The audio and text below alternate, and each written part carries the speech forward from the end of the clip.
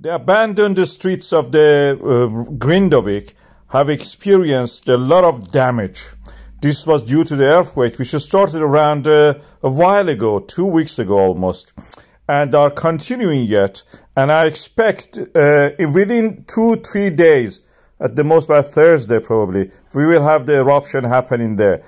We are now seeing smoke and heat rising from the cracks and the sinkholes which are opened in the residential areas, on the road surfaces, all across the Grindavik. And this is the town which is now evacuated. Residents are only returning one person from each family to collect what they can cars, pets, documents. It reminds us of the Pompeii. People were not very lucky on that time. They didn't know what is going on. And that we know the result of it.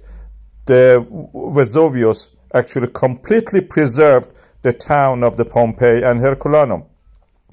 In the Iceland, thanks to the clever and on time uh, evacuation order by the authorities, people have been able to save their animals, their livestock, their belongings. Remember, Iceland is an island. You have to import everything or you build it locally.